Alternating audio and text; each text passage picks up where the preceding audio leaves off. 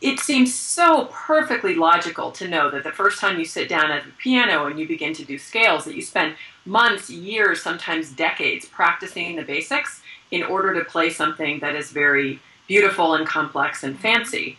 And it makes sense because we understand in that context within the arts, it makes sense that you need to build these things up. For some reason, we suspend our understanding when it comes to business. Mm-hmm. And I think part because it's fed by uh, probably well intentioned desire for people to make money and to address the psychological need that we have as human beings mm-hmm. to have things appear to be easy.